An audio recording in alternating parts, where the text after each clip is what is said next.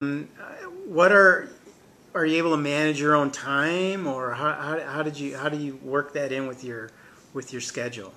That's another another good thing about the internship. Um, well, research you can you can do from anywhere. I did a lot of the research from home or on campus. We did set up time for me to go into the office and kind of communicate, so we're not always emailing and kind of regroup.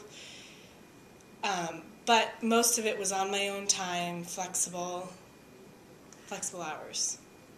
So the program